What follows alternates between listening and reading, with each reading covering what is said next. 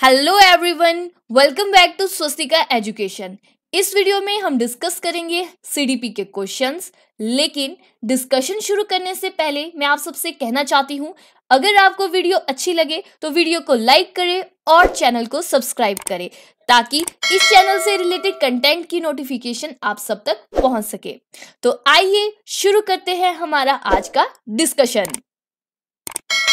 हमारा पहला क्वेश्चन है Which theorist revised Sigmund Freud's stages of development, replacing Freud's psychosexual develop stages with psychosocial stages, right? जैसे कि हमसे क्वेश्चन में पूछा गया है कि इनमें से कौन से थ्योरिस्ट हैं जिन्होंने सिगमेंट फ्रूड की साइकोसेक्सुअल स्टेजेस को रिप्लेस किया है साइकोसोशल स्टेजेस के साथ ऑप्शन है A Karen Horney B Erik Erikson C Alfred Adler या D Viktor Frankl so the right answer is B that is Erik Erikson जी हाँ एरिक एरिक्सन वो थ्योरिस्ट थे जिन्होंने सिगमेंट फ्रूड की जो डेवलपमेंट की स्टेजेस थी, जिन्होंने उन्हें साइकोसेक्चुअल स्टेजेस के नाम से कहा था।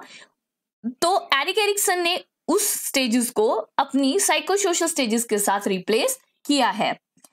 हमारा नेक्स्ट क्वेश्चन है that what term is the best used to describe the smallest meaningful unit of language. इनमें से वो कौन सी टर्म है जो कि बेस्ट डिस्क्राइब करती है smallest meaningful unit of language को? A phoneme B syntax C morpheme या D semantic so the right answer is C morpheme जी हाँ जो मॉर्फिम होता है वो स्मॉलेस्ट यूनिट मीनिंगफुल यूनिट होती है किसी भी लैंग्वेज की। हमारा नेक्स्ट क्वेश्चन है that according to Sigmund Freud, a child who grabs food from another child because of hunger is driven by right right? जैसे कि इस क्वेश्चन में ये पूछा गया है कि एक बच्चा जो है दूसरे बच्चे से खाना छीन लेता है किस कारण हंगर के कारण तो ये जो थी ड्राइव उसको अराइज हुई थी वो कौन सी कहाँ से हुई थी राइट right? तो ऑप्शन है A the id B the ego C environmental reinforcers या D the super ego so the right answer is A the id जी हाँ जो ये बच्चे को ड्राइव अराइज हुई थी कि उसने जो है दूसरे बच्चे का खाना छीन लिया और उसको भूख लगी हुई थी तो ये जो ड्राइव अराइज हुई थी इड से। क्योंकि हमें पता है कि जो हमारा इड होता है, वो कहीं ना कहीं रिज़र्व वायर होता है हमारी डिजायर्स का। तो ये था हमारा क्वेश्चन हमारा नेक्स्ट क्वेश्चन है that which of the following is the name given to the process of differentiating one self from others by emphasizing one uniqueness इनमें से वो कौन सी प्रोसेस है जिसमें हम एक दूसरे को मतलब अपने से अलग करते हैं या मतलब किसी इंडिविजुअल को अलग करते हैं और उसके बाद उसकी यूनिकनेस को एम्फेसाइज करते हैं। तो उस प्रोसेस को हम क्या कहते हैं? A personality B impression formation C D individuation yes D that is in individuation right जिसको हम इंडिविजुअल से ले सकते हैं individuation so the right option is D that is individuation तो ऐसे प्रोसेस को हम इंडिविएशन कहते हैं, जिसमें कि हम पहले एक दूसरे से अलग करेंगे, फिर किसी भी एक इंडिविजुअल की यूनिकनेस के ऊपर एम्फेसाइज करेंगे राइट right? तो हमारा नेक्स्ट क्वेश्चन है the ability derive directly from the previous experience is known as ऐसी एबिलिटी जो डायरेक्टली प्रीवियस एक्सपीरियंस से हमारी डिराइव हो रही है तो उसे क्या कहते हैं? A crystallize intelligence B fluid intelligence C formal operation या D concrete operation so the right answer is A that is crystallize intelligence जी हाँ क्रिस्टलाइज इंटेलिजेंस जैसे कि आप इस पिक्चर में भी देख सकते हो, ये है हमारे पास फ्लूड इंटेलिजेंस और क्रिस्टलाइज इंटेलिजेंस का पिक्चर जिसमें कि जो हमारी इंटेलिजेंस होती है फ्लूड वो जो है, वो ग्लोबल कैपेसिटी टू रीजन जो है शो करती है। और एक ऐसी एबिलिटी भी होती है जिसमें कि हम नई चीज़ों को सीखते हैं और एब्स्ट्रैक्टली सोचते हैं और प्रॉब्लम्स को सॉल्व कर पाते हैं। तो ऐसी इंटेलिजेंस को हम कहते हैं फ्लूड इंटेलिजेंस जबकि जो दूसरी इंटेलिजेंस है हमारी डेट इज़ क्रिस्टलाइज्ड इंटेलिजेंस उसमें जो है हम प्रायर लर्निंग और पास्ट एक्सपीरियंस से सीखते हैं और ये हमारी फैक्ट्स पे बेस्ड होती है और जो क्रिस्टलाइज्ड इंटेलिजेंस है, वो हमारी एज के साथ भी क्या होती रहती है? इंक्रीज होती रहती है। तो ये था हमारा क्वेश्चन हमारा नेक्स्ट क्वेश्चन है that learning disabilities may occur due to all of the following except, जो लर्निंग disabilities होती हैं, वो इन सभी कारणों से हो सकती हैं, लेकिन इनमें से कोई एक कारण है जिसके कारण नहीं हो सकती। तो ऑप्शन है A teachers ways of teaching B prenatal use of alcohol C mental retardation या D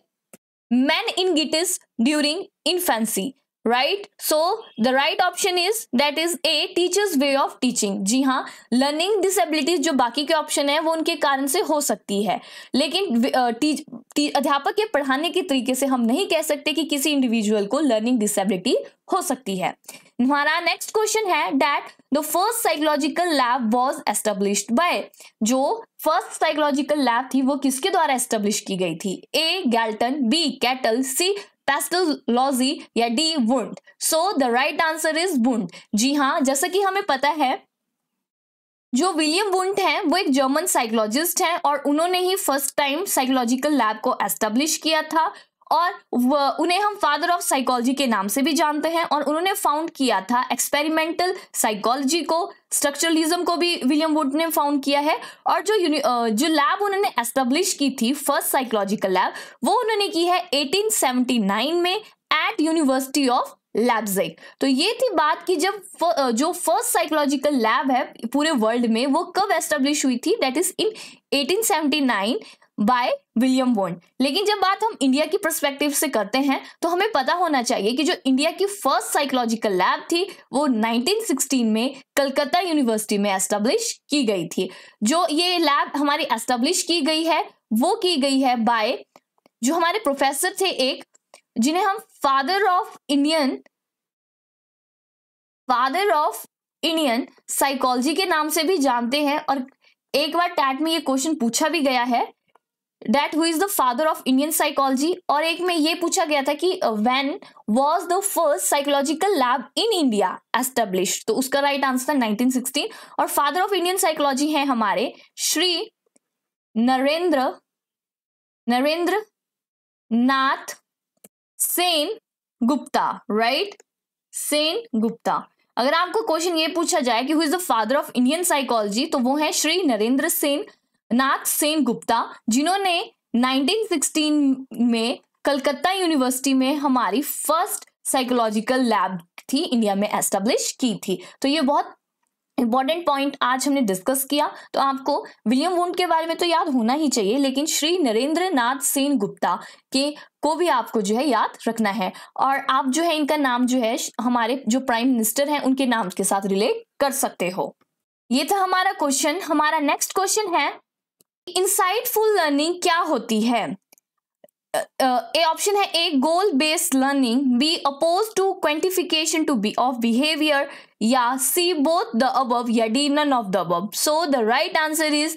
B both the above जी हाँ जो इंसाइटफुल लर्निंग होती है, वो हमारी गोल बेस्ड लर्निंग भी रहती है और वो अपोज करती है क्वेंटिफिकेशन ऑफ़ बिहेवियर का।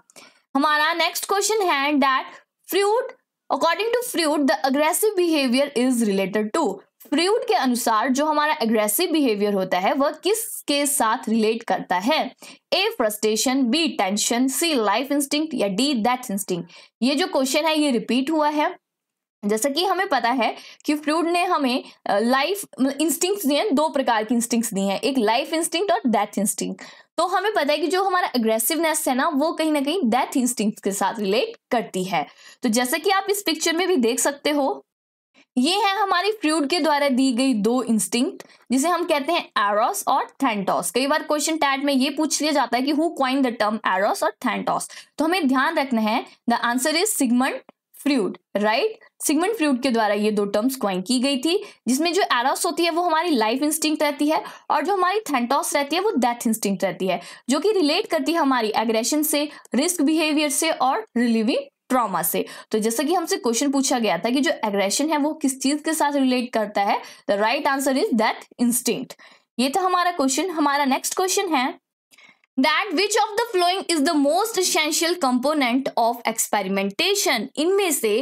एक्सपेरिमेंटेशन का सबसे इंपॉर्टेंट कंपोनेंट क्या है? A observation of behaviour B study of behaviour C matching of subjects या D controlled conditions so the right answer is D that is controlled condition जी हाँ जैसे कि हमें पता है कि जो कोई एक्सपेरिमेंट कैरिड आउट होता है, वो हमेशा कंट्रोल्ड कंडीशन में होना चाहिए तभी उसे हम एक्सपेरिमेंट कहेंगे। अगर हमारी कंडीशन ही आउट ऑफ़ कंट्रोल हो जाती है तो कहीं ना कहीं जो हमारी एक्सपेरिमेंट है उसका जो रिज़ल्ट है वो भी प्रॉपर नहीं आता है। सो so, इस क्वेश्चन का जो सही आंसर है that is D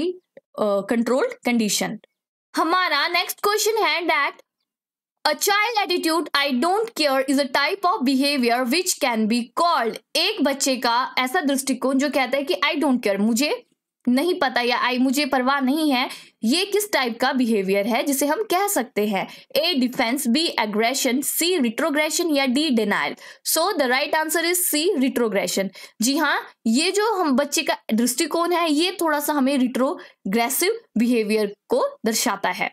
next question है that which of the following is related to measure of variability right it's not variability it's not visibility, it's variability, right? B a r I A B L T Y तो इनमें से कौन सा जो major है वो हमारी variability को साथ रिलेट करता है? ऑप्शन है A range B mean C correlation या D percentile so the right option is A that is range जी हाँ जैसे कि हमें पता है कि वेरिएबिलिटी जो होती है किसी भी स्कोर्स के डिस्ट्रीब्यूशन uh, की स्प्रेड होता है राइट right? तो आप कह सकते हो कि जो हमारी वेरिएबिलिटी होती है उसके four measures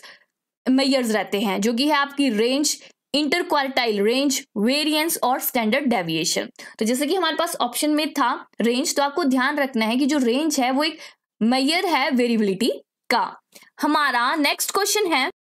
that who said whole learning is definitely better than part learning इनमें से कौन कहते हैं कि जो होल लर्निंग है वो पार्ट लर्निंग के बजाय बहुत अच्छी है? सो so, ऑप्शन है A Woodworth B William James C South या D Light so the right answer is A Woodworth जी हाँ जैसे कि हमने पिछली वीडियोस में भी डिस्कस किया है कि ये जो whole learning is better than its part learning ये जो हमारी एट्रीब्यूट uh, है ये जस्टॉल साइकोलॉजी को बिलोंग करता है और ये जो हमारा एट्रीब्यूट uh, है ना बेसिकली ये दिया गया था वुडवर्थ के द्वारा।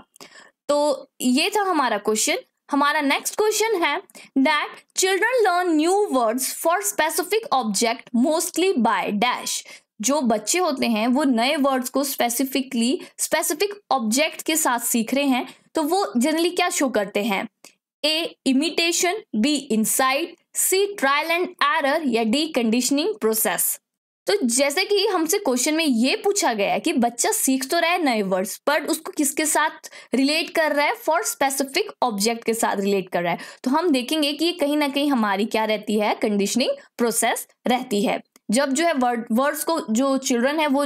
किसी ऑब्जेक्ट ऑब्जेक्ट के साथ क्या स्पेसिफिकली रिलेट करे या एसोशिएट करे तो ऐसे जो प्रोसेस को हम क्या कहते हैं? That is conditioning process right हमारा नेक्स्ट क्वेश्चन है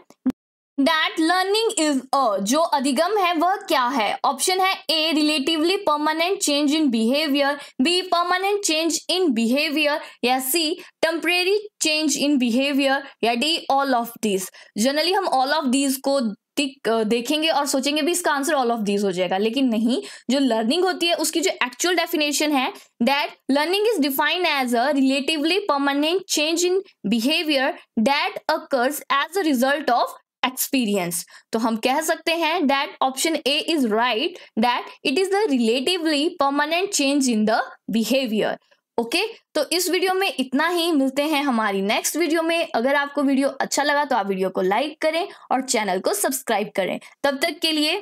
thanks for watching the video अगर आपको वीडियो अच्छा लगे तो वीडियो को लाइक करें और चैनल को सब्सक्राइब करें। Thank you